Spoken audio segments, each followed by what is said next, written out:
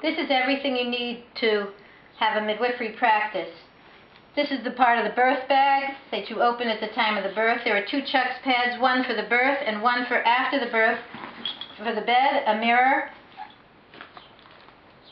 There are, at the very bottom of the bed, a sterile kit for stitching.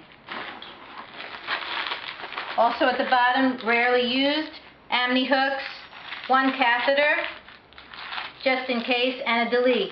Put it in a plastic bag, put it in the bottom. An Ambu bag. Can buy it for $25. They'll never use it. These are diapers, one for the mother, one for the baby after the birth. This is a scale. It's it costs three dollars. It's a German scale on a hanging rope. Works perfectly. And a stethoscope to listen to the baby's heartbeat. Put it in a plastic bag in your bag.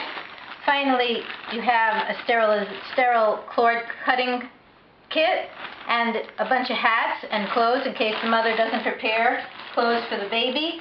Two receiving blankets, a large plastic sheet with elastic edges so all the blood stays in here and there's no no cleanup and that can be reused. In the second bag that you use during the labor, you've got a fetoscope and a measurer, a tape measure, a wheel, a washcloth is always handy, non-sterile gloves if her water hasn't broken, sterile gloves if her water has broken, Tylenol, Tylenol with codeine, Percocet for pain relief.